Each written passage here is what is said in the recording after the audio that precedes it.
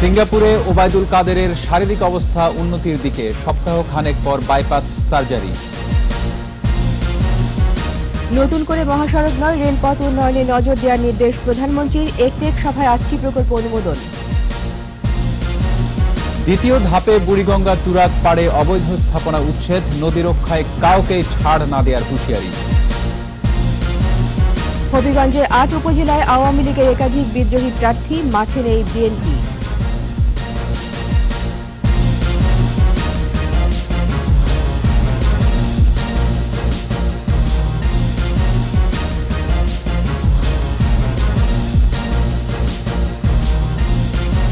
এলেন first security Islami bank limited সংবাদ শিরোনাম আমন্ত্রণ জানাচ্ছি দুপুর দুইটার একুশে সংবাদে আপনাদের সাথে আছি আমি রক্তিম ত্রিপুরা এবং আমি আওয়ামী লীগের সাধারণ সম্পাদক এবং সড়ক পরিবহন ও সেতুমন্ত্রী ওবায়দুল কাদেরের বাইপাস সার্জারির সিদ্ধান্ত নেওয়া হয়েছে বলে জানিয়েছেন সিঙ্গাপুরে অবস্থানরত চিকিৎসক ডাক্তার আবু নাসির রিজভি ওবায়দুল কাদেরের শারীরিক অবস্থা কিছুটা উন্নত হয়েছে বলে জানিয়েছেন তিনি উন্নত চিকিৎসার জন্য সোমবার সিঙ্গাপুরের মাউন্ট এলিজাবেথ হাসপাতালে নেওয়া হয় ওবায়দুল কাদেরকে ভারতের প্রখ্যাত কার্ডিওলজিস্ট ডাক্তার দেবী শেঠির পরামর্শে তাকে ওই হাসপাতালে নেওয়া হয় এয়ার অ্যাম্বুলেন্সে ওবায়দুল কাদেরের সঙ্গে তার সহধর্মিনী ইশরাতুন্নেসা কাদের বঙ্গবন্ধু শেখ মুজিব মেডিকেল বিশ্ববিদ্যালয়ের পরিচালক ডাক্তার আবু নাসির রিজভি ও মাউন্ট এলিজাবেথ হাসপাতালের চিকিৎসক প্রতিনিধি ছিলেন হাসপাতালের চিকিৎসকরা তার বাইপাস করার সিদ্ধান্ত সিদ্ধান্তের কথা জানিয়েছেন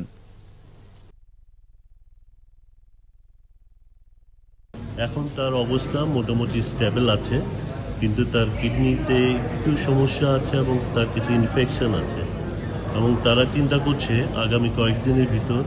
এই কিডনি সমস্যা এবং ইনফেকশনটাকে কন্ট্রোল করার পরে they are thinking for the bypass surgery এবং বর্তমানে তার অবস্থা আগের থেকে ক্রমেই উন্নতির দিকে যাচ্ছে বাকিটা এখন দেশবাসীর কাছে আমরা দোয়া পাচ্ছি নতুন করে মহাসড়ক নয় রেলপথ উন্নয়নে নজর দেওয়ার নির্দেশ দিয়েছেন প্রধানমন্ত্রী শেখ হাসিনা জাতীয় অর্থনীতি পরিষদের নির্বাহী কমিটি একনেকের সভা শেষে কথা জানান পরিকল্পনামন্ত্রী আব্দুল মান্নান প্রধানমন্ত্রী শেখ হাসিনার সভাপতিত্বে সভায় ছয় হাজার দুশো ছিয়াত্তর কোটি টাকা ব্যয়ে আটটি উন্নয়ন প্রকল্প অনুমোদন দিয়েছে একনেক নারায়ণগঞ্জের আড়াই হাজার জাপানের অর্থনৈতিক অঞ্চলের অবকাঠামো উন্নয়নে দুই হাজার পাঁচশো বিরাশি কোটি আঠারো লাখ টাকা বরাদ্দ দেওয়া হয়েছে এতে সরকারি কোষাগার থেকে চারশো চুয়ান্ন কোটি টাকা এবং আইকন ঋণ সহায়তা থাকবে দুই হাজার একশো সাতাশ কোটি তিরাশি লাখ টাকা এছাড়া কৃষি পানির সম্পদ স্থানীয় সরকার ধর্ম এবং প্রাথমিক ও গণশিক্ষা মন্ত্রণালয়ের সম্প্রসারিত প্রকল্প অনুমোদন দিয়েছে একনেক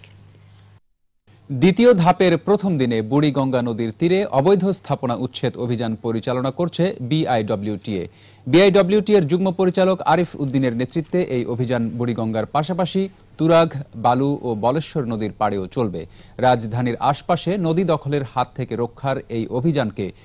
অভিযানে কাউকে ছাড় দেয়া হবে না বলে জানিয়েছেন অভিযানকারী পরিচালক তিনি বলেন আগামী আটাশ মার্চ পর্যন্ত এই অভিযানে ঢাকার জলাবদ্ধতা নিরসন ও নদী রক্ষায় কাজ করবে সংস্থাটি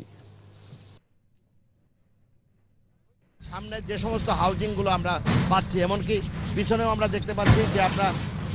আফসানা হাউজিং মধু সিটি এগুলোও কিন্তু আমরা আমরা আমাদের যে নদীর অংশটুকু সেগুলো কিন্তু অপসারণ করে নদীর জায়গাটা আমরাকে ফিরিয়ে আনার চেষ্টা করব আমাদের নৌ পরিবহন মন্ত্রণালয় থেকে সার্বক্ষণিকভাবে এটি কিন্তু আপনার আমাদেরকে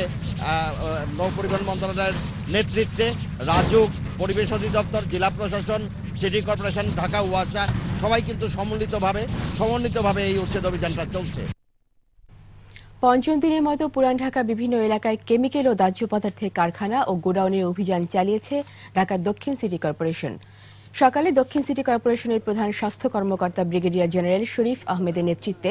পুরান ঢাকায় উর্দু রোডে ও এই অভিযান পরিচালিত হয় এ সময় প্লাস্টিক তৈরি দুই কারখানা এবং তিনটি গোডাউন শনাক্ত করা হয় পরে প্রাথমিক অবস্থায় সেগুলো বিদ্যুৎ সংযোগ বিচ্ছিন্ন করে দ্রুত অপসারণের নির্দেশ দেওয়া হয়েছে এছাড়াও পুরান ঢাকায় অন্যান্য এলাকায় আরও চারটি টিম অভিযান চালায় এই অভিযান পুরো মাস জুড়ে চলবে জানান দক্ষিণ সিটির প্রধান স্বাস্থ্য কর্মকর্তা পাঁচটা কারখানায় আমরা অভিযান চালিয়েছি তার মধ্যে চারটাতে আমরা chemicals that is plastic granules এগুলি প্রচুর পরিমাণ মজুদ দেখেছি সংশ্লিষ্ট যারা ছিল তাদের সঙ্গে কথা বলেছি এবং এগুলি আমরা ইউটিলিটি সার্ভিস বন্ধ করে দিয়েছি এবার উপজেলায় ভোট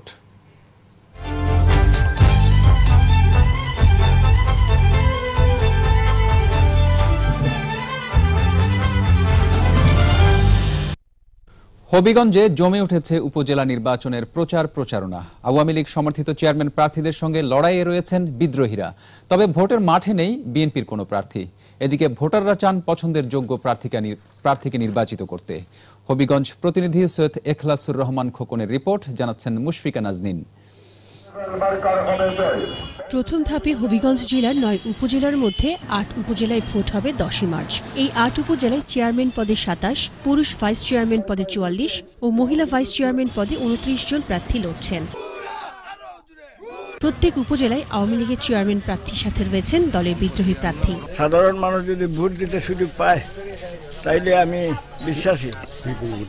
বিপুল ভোটে আমি জয়লাভ করব কর্মীরা সাথে রয়েছে দাবি করে জয়ের ব্যাপারে শতভাগ আশাবাদী বিদ্রোহী প্রার্থীরা আমার আনারস প্রতীকে ভোট দিয়ে নির্বাচিত করে এই সদর উপজেলা অবহেলিত সদর উপজেলাকে সেবা করার সুযোগ করে দিবেন সবাই যেভাবে আমাকে স্বতঃস্ফূর্তভাবে আমাকে সমর্থন দিয়েছে আমি বিশ্বাস করি আমার বিগত নির্বাচনের মতো আগামী দশই মার্চ এই আমার আনারসের প্রতীক বিপুল ভোটের মাধ্যমে বিজয়ী হবে বানিয়াচং এ নৌকার বিজয় নিশ্চিত বলে মনে করেন এই প্রার্থী দলমত বিশেষে তারা এই বানিয়াচং আমাকে বিপুল ভোটের মাধ্যমে এই উপজেলায় বানিয়াচং উপজেলায় নৌকা মার্কাকে বিজয়ী করবে বলে আমার বিশ্বাস উন্নয়নের ধারাবাহিকতা ধরে রাখতে জনগণ আওয়ামী লীগকে ভোট দেবে আশা আজমিরিগঞ্জের আওয়ামী লীগ প্রার্থীর উন্নয়নকে লক্ষ্য করে আমি আমার প্রচার প্রচারণা চালিয়ে যাচ্ছি জনগণের মধ্যে ব্যাপক সারা পেয়েছি ভোটারদের প্রত্যাশা নির্বাচিত চেয়ারম্যান সন্ত্রাস ও মাদকের বিরুদ্ধে নেবেন কঠোর অবস্থান যে ব্যক্তি সৎ নিষ্ঠাবান এবং হবিগঞ্জের জন্য কিছু করবে আমরা এই ধরনের তরুণ প্রজন্মকে দেখতে চাই সৎ যোগ্য এবং একজন দক্ষ একজন আমরা নেতা চাই সুষ্ঠু এবং বিবেকবান মানুষ আমাদের সেবায় নিয়োজিত থাকবে যে আমরা পরিবেশ বালা করব পরিবেশ কাজ করব সেরূপে আমরা ভোট দিতাম মুশফিকা নাজনীন একুশে টেলিভিশন নিচ্ছি ইসলামী ব্যাংক বিরতি যখন ফিরছি তখন অন্যান্য খবরের সঙ্গে আরো থাকবে সৌদি আরবের মদিনায় সড়ক দুর্ঘটনায় একই পরিবারের দুই বাংলাদেশি নিহত চালকলের ছাই ধোয়ায় নওগাঁ মহাদেবপুরের জনজীবন অতিষ্ঠ অন্ধ হয়ে গেছেন অনেকে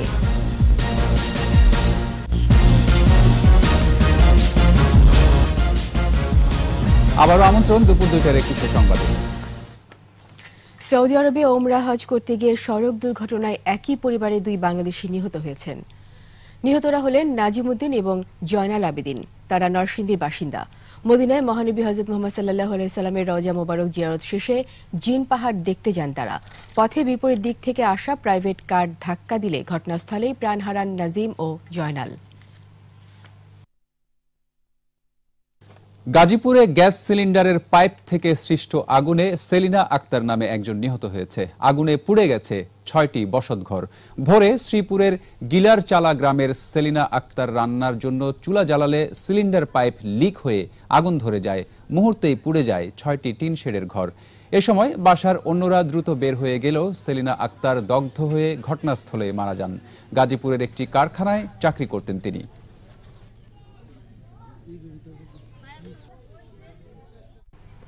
এবার আমাদের সাপ্তাহিক আয়োজন সোশ্যাল ইসলামী ব্যাংক লিমিটেডের সৌজন্যে জনসচেতনতা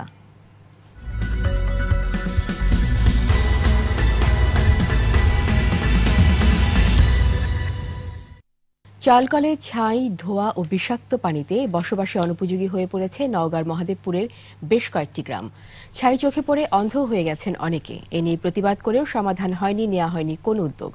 নওগাঁ প্রতিনিধি রতন ইসলামের রিপোর্ট জানাচ্ছেন মুশফিকা নাসদিন ছায়ে ঢাকা বচনা গ্রাম এই গ্রামের মাঝখানে চালকল হওয়ায় চরম হুমকিতে জনজীবন প্রতিনিয়ত ছাই চোখে পড়ে অনেককে বরণ করে নিতে হয়েছে অন্ধত্ব আমাদের চোখ নষ্ট হয়েছে আমাদের পরিবারের চোখ নষ্ট হয়েছে আমাদের গ্রামে বহু লোকের চোখ নষ্ট হয়েছে এবং কাপড় ক্যানি সব ময়লা সব সময় থাকে এবং গাছে মকুল ফল ফ্লান্ত কিচ্ছু থাকে না ছাই পড়ে অনেক সময় চোখ নষ্ট হয়ে যায় ডাক্তারের কাছে যা লাগে নওগাঁ জেলায় বারোশো চালকলের মধ্যে মহাদেবপুর উপজেলাতেই চারশোটি চালকল কোনো নিয়মিত তোয়াক্কা না করে গড়ে উঠেছে এসব কল খাই পরে তারপরে শুশু শব্দ সব সময় জমজম জমজম মানে জুমকুটে কিছু হলে শুনতে পাই না তো জিদ্দর মারে যাবো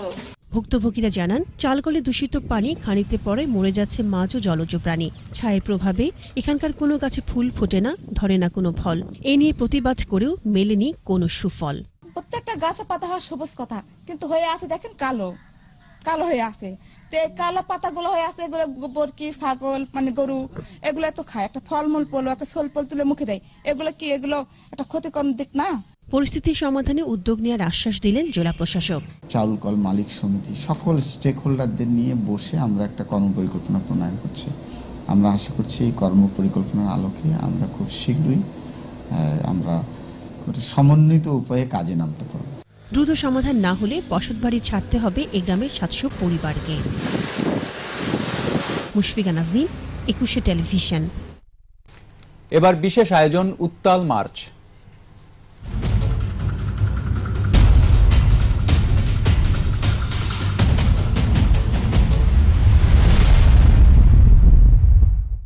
উত্তাল মার্চের এই দিনে দেশের বিভিন্ন স্থানে মুক্তিকামী জনতার উপর গুলি চালায় পাকিস্তানি বাহিনী টঙ্গিতে হানাদারদের গুলিতে নিহত হয় দুইজন বিক্ষুব্ধ জনতাকে স্তব্ধ করে দিতে কারফিউ জারি করে পাকিস্তান সরকার ঢাকায় সাধারণ জনতার সঙ্গে একাত্ম হন রাজনৈতিক নেতাকর্মী লেখক শিল্পী ও বুদ্ধিজীবীরা ইবনে নূর শাওনের রিপোর্ট আন্দোলন সংগ্রামে নির্বিচারে গুলি চালানোর প্রতিবাদে শোক মিছিলে অংশ নেন ছাত্র শিক্ষক সহ সর্বস্তরের জনতা আওয়ামী লীগ ও এর অঙ্গ সংগঠনের নেতাকর্মীরাও রাস্তায় নেমে আসে শহীদ মিনারে সমাবেশ করে পূর্ব পাকিস্তান ছাত্র ইউনিয়ন পূর্ব পাকিস্তানের অফিস আদালত সহ প্রায় সবখানেই প্রতিষ্ঠিত পালিত হতে থাকে বঙ্গবন্ধুর নির্দেশনা হরতালের দিনগুলোতে জরুরি কাজ চালানোর জন্য সরকারি বেসরকারি সব অফিস দুপুর আড়াইটা থেকে বিকাল চারটা পর্যন্ত খোলা রাখার নির্দেশ দেন বঙ্গবন্ধু মসজিদ ও মন্দিরে চলে বিশেষ প্রার্থনা ক্যান্টনমেন্ট আর ওই গভর্নর গিয়েছিল সচিবালয় আর গভর্নর ভবন যেটা ছিল এর বাইরে পাকিস্তানের আর কোনো পতাকা ছিল না পাকিস্তানের কোনো অস্তিত্ব ছিল না সেনাবাহিনীকে ব্যারাকে ফিরিয়ে নেওয়া হয় জুলফিকার আলী ভুট্টো বৈঠক করেন প্রেসিডেন্ট ইয়াহিয়া খানের সঙ্গে এই অসহযোগ চলতেছে সারা বাংলাদেশের সভা সমিতি মিছিল বিভিন্ন জায়গায় পাকিস্তানি বাহিনী গুলি করে বাঙালিদের মারতেছে বিভিন্ন এলাকায় সৈয়দপুর লালমরিহাট ঈশ্বরদী খুলনা বিভিন্ন এলাকায় মুক্তিকামী বাঙালির কৌতূহল তখন বঙ্গবন্ধুর সাতই মার্চের ভাষণ ঘিরে ইবনে নূর শাউন একুশে টেলিভিশন ঢাকা আবার নিচ্ছি ইসলামী ব্যাংক বিরতি যখন ফিরছি তখন খবর নিয়ে ভারতকে দেয়া জিএসপি প্রত্যাহার করছে যুক্তরাষ্ট্র মার্কিন কংগ্রেসকে ট্রাম্পের চিঠি নিউজিল্যান্ডের বিপক্ষে দ্বিতীয় টেস্ট খেলতে ওয়েলিংটনে টাইগাররা হ্যামিল্টনের দ্বিতীয় ইনিংসে অনুপ্রেরণা বলছেন সাদমান আর এর সাথে শেষ করছি দুপুর দুটার একুশে সংবাদ যাবার আগে first security Islami bank limited সংবাদ শিরোনামগুলো আরও একবার সিঙ্গাপুরে ওবায়দুল কাদেরের শারীরিক অবস্থা উন্নতির দিকে সপ্তাহখানেক পর বাইপাস সার্জারি নতুন করে মহাসড়ক নয় রেলপথ উন্নয়নে নজর দেওয়ার নির্দেশ প্রধানমন্ত্রীর একটি সভায় আটটি প্রকল্প অনুমোদন দ্বিতীয় ধাপে বুড়িগঙ্গা চূড়াক পাড়ে অবৈধ স্থাপনা উচ্ছেদ নদী রক্ষায় কাউকে ছাড় না দেওয়ার হুঁশিয়ারি হবিগঞ্জের আট উপজেলায় আওয়ামী লীগের একাধিক বিদ্রোহী প্রার্থী মাঠে নেই বিএনপি